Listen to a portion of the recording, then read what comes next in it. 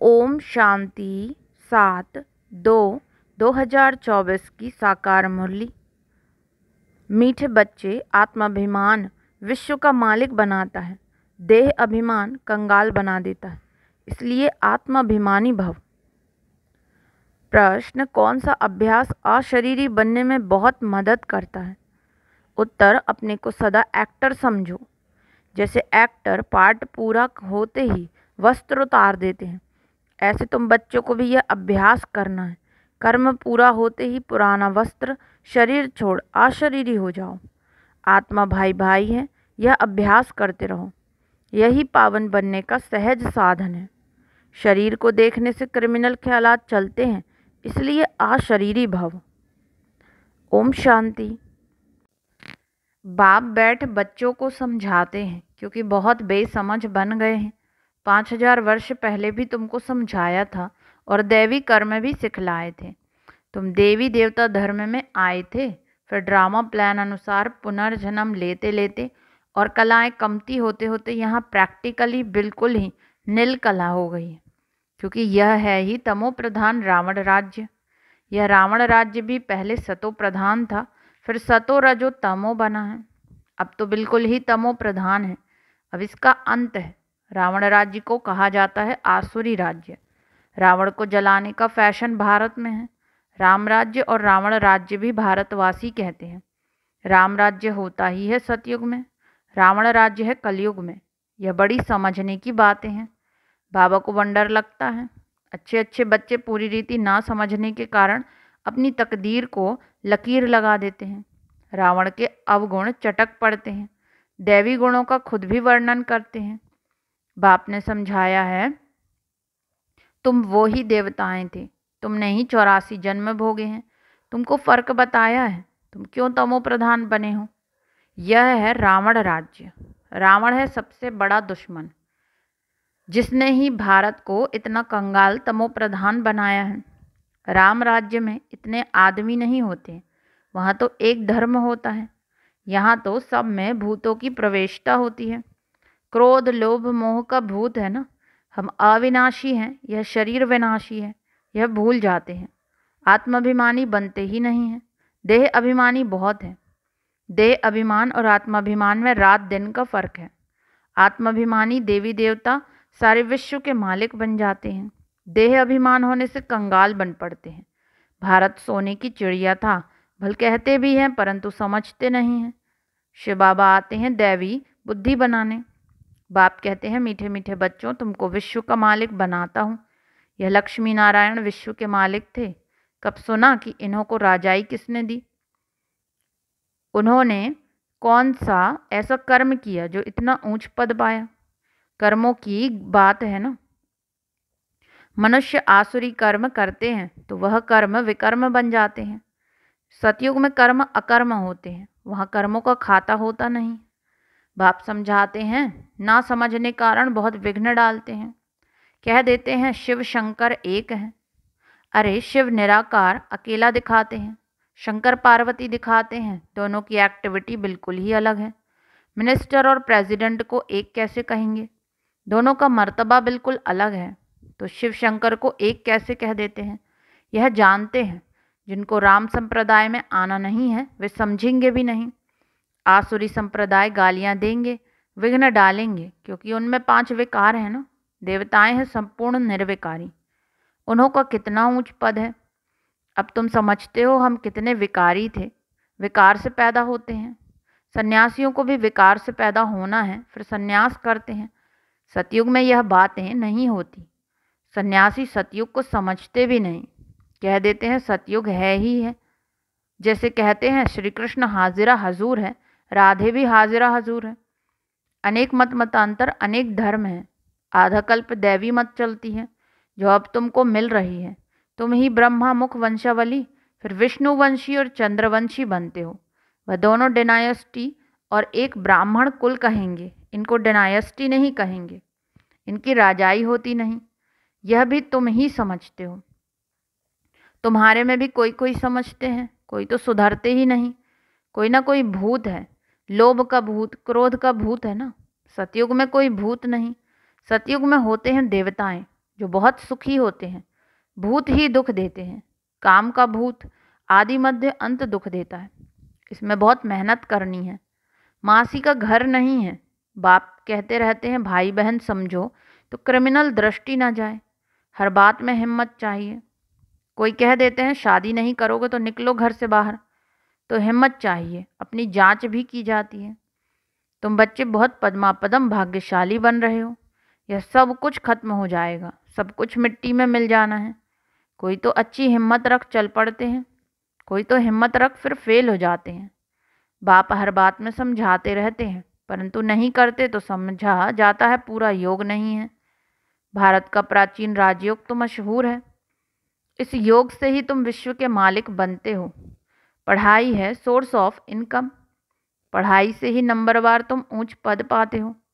भाई बहन के संबंध में भी बुद्धि चलायमान होती है, इसलिए बाप इससे भी ऊंच ले जाते हैं कि अपने को आत्मा समझो, दूसरे को भी आत्मा भाई भाई समझो। हम सब भाई भाई हैं तो दूसरी दृष्टि जाएगी नहीं। शरीर को देखने से क्रिमिनल ख्यालात आते हैं। बाप कहते हैं, बच्चे, आशरीरी भव, देही अभिमानी भव। अपने को आत्मा समझो। आत्मा अविनाशी है। शरीर से पार्ट बजाया, फिर शरीर से अलग हो जाना चाहिए। वह एक्टर्स पार्ट पूरा कर कपड़ा बदली कर देते हैं। तुमको भी अब पुराना कपड़ा शरीर, पुराना कपड़ा शरीर, उतार, नया कपड़ा पहनना है। इस समय आत्मा भी तमो प्रधान शरीर भी तमो प्रधान है। तमो प्रधान आत्मा मुक्ति में जा नहीं सकती। पवित्र हो तब जाए। अपवित्र आत्मा वापस नहीं जा सकती। यह झूठ बोलते हैं कि फलाना ब्रह्म में लीन हुआ। एक भी जा नहीं सकते। वहाँ जैसे सिजरा बना हुआ है, वैसे ही रहता है। यह तुम ब्राह्मण बच्चे जानते हो। गीता में ब्राह्मणों का नाम कुछ भी दिखाया नहीं है। यह तो समझाते हैं प्रजापिता ब्रह्मा के तन में प्रवेश करता हूँ तो ज़रूर एडॉप्शन चाहिए। वह ब्राह्मण है विकारी, तुम हो निर्विकारी। निर्विकारी बनने में बहुत सितम सहन करने पड़ते हैं। यह नाम रूप देखने से बहुतों को विकल्प आते हैं। भाई बहन के संबंध में भी गिर पड़ते हैं। लिखते हैं, बाबा, हम गिर पड़े, काला मुँह कर लिया। बाप कहते हैं, वाह, हमने कहा भाई बहन होकर रहो, तुमने फिर यह खराब काम किया। उसकी फिर बड़ी कड़ी सज़ा मिल जाती है। वैसे कोई किसको खराब करते हैं तो उनको जेल में डाला जाता है। भारत कितना पवित्र था जो मैंने स्थापन किया। उनका नाम ही है शिवालय। यह ज्ञान भी कोई में नहीं है। बाकी शास्त्र आदि जो हैं, वह सब भक्ति मार्ग के कर्म कांड हैं। सतयुग में सब सदगति में है, इसलिए वहाँ कोई पुरुषार्थ नहीं करते। यहाँ सब गति सदगति के लिए पुरुषार्थ करते हैं, क्योंकि दुर्गति में है। गंगा स्नान करने जाते हैं तो गंगा का पानी सदगति देगा क्या? वह पावन बनाएगा क्या? कुछ भी जानते नहीं।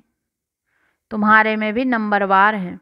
कोई तो खुद नहीं समझते तो दूसरों को क्या समझाएँगे? इसलिए बाबा भेजता नहीं। गाते रहते हैं, बाबा आप आएँगे तो आपकी श्रीमत पर चलकर देवता बनेंगे। देवताएँ रहते हैं सतयुग और त्रेता में। यहाँ तो सबसे जास्ती काम विकार में फंसे हुए हैं। काम विकार बगैर रह नहीं सकते। यह विकार है जैसे माई बाप का वर्षा। यहाँ तुमको मिलता है राम का वर्षा। पवित्रता का वर्षा मिलता है। वहाँ विकार की बात नहीं होती। भक्त लोग कहते हैं श्री कृष्ण भगवान है, तुम उनको चौरासी जन्मों में दिखाते हो।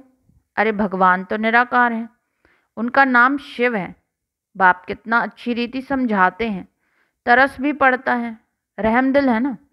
यह कितना अच्छे समझदार बच्चे हैं भपका भी अच्छा है, जिसमें ज्ञान और योग की ताकत है तो वह कशिश करते हैं।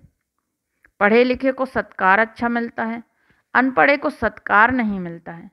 यह तो जानते हो, इस समय सब आसुरी संप्रदाय हैं, कुछ भी समझते नहीं हैं। शिव और शंकर का अंतर तो बिल्कुल क्लियर है। वह है मूल वतन में, वह सूक्ष्म वतन में, सब एक जैसे कैसे होंगे? यह तो तमो प्रधान दुनिया है। रावण दुश्मन है, आसुरी संप्रदाय का, जो आप समान बना देता है। अब बाप तुमको आप समान देवी संप्रदाय बनाते हैं। वहाँ रावण होता नहीं। आधा कल्प उनको जलाते हैं। राम राज्य होता है सतयुग में। गांधी जी राम राज्य चाहते थे, लेकिन वह राम राज्य कैसे स्थापन कर सकते? वह कोई आत्माभिमानी बनने की शिक्षा नहीं देते थे। बाप ही संगम पर कहते हैं, आत्माभिमानी बनो। यह है उत्तम बनने का युग। बाप कितना प्यार से समझाते रहते हैं। घड़ी घड़ी कितना प्यार से बाप को याद करना चाहिए। बाबा आपकी तो कमाल है, हम कितने पत्थर बुद्धि थे। आप हमको कितना ऊंच बनाते हैं। आपकी मत बिगर हम और किसकी मत पर नहीं चलेंगे। पिछाड़ी को सब कहेंगे, बरोबर ब्रह्मा कुमार कुमारियाँ तो दैवी मत पर चल रहे हैं। कितनी अच्छी अच्छी बातें सुनाते हैं। आदि मध्य अंत का परिचय देते हैं, कैरेक्टर सुधारते हैं। अच्छा मीठे मीठे सिकिलदे बच्चों प्रति मात पिता बाप दादा का याद प्यार और गुड मॉर्निंग। रूहानी बाप की रूहानी बच्चों को नमस्ते। हम रूहानी बच्चों की रूहानी मात पिता बाप दादा को याद प्यार गुड मॉर्निंग और नमस्ते नमस्ते नमस्ते। धारणा के लिए मुख्य सार। पहला, दृष्टि को शुद्ध, पवित्र बनाने के लिए किसी के भी नाम रूप को ना देख, आशरीरी बनने का अभ्यास करना है। स्वयं को आत्मा समझ, आत्मा भाई से बात करनी है। दूसरा, सर्व का सत्कार प्राप्त करने के लिए ज्ञान योग की ताकत धारण करनी है। दैवी गुणों से संपन्न बनना है, कैरेक्टर सुधारने की सेवा करनी है। वरदान, बीमारी कॉन्शियस के बजाय खुशी खुशी से हिसाब किताब चुकतू करने वाले सोल कॉन्शियस भव। बीमारी कॉन्शियस के बजाय खुशी खुशी हिसाब, किताब चुकतू करने वाले। सोल कॉन्शियस भव। तन तो सबके पुराने हैं ही। हर एक को कोई ना कोई छोटी बड़ी बीमारी है। लेकिन तन का प्रभाव अगर मन पर आ गया तो डबल बीमार हो, बीमारी कॉन्शियस हो जाएँगे। इसलिए मन में कभी भी बीमारी का संकल्प नहीं आना चाहिए। तब कहेंगे सोल कॉन्शियस। बीमारी से कभी घबराओ नहीं। थोड़ा सा दवाई रूपी फ्रूट खाकर उसे विदाई दे दो। खुशी खुशी से हिसाब किताब चुकतू करूँ। स्लोगन, हर गुण, हर शक्ति का अनुभव करना, अर्थात अनुभवी मूर्त बनना। हर गुण, हर शक्ति का अनुभव करना, अर्थात अनुभवी मूर्त बनना। अच्छा ओम शांति। आप दृष्टि